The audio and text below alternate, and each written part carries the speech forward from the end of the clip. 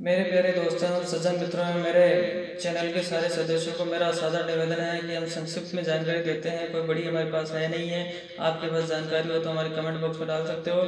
तो अब नेक्स्ट जानकारी देने जा रहे हैं, सिर्फ़ जानकारी के लिए, राजस्थान का राज्य खेल कौन सा है? राजस्थान का राज्य खेल है बास्केटबॉल। थैंक यू दोस्तों, बने रहिए हमारे साथ और सब्सक्राइब करना न भूलें।